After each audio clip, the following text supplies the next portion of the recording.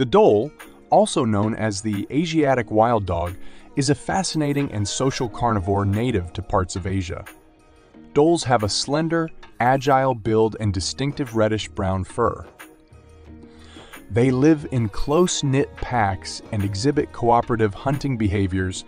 Dholes are highly adaptable and can thrive in various habitats, including forests, grasslands, and mountains. They primarily prey on small to medium-sized ungulates but are also known to feed on smaller mammals, birds, and even insects. Unfortunately, dhole populations face threats from habitat loss, fragmentation, and human-wildlife conflicts.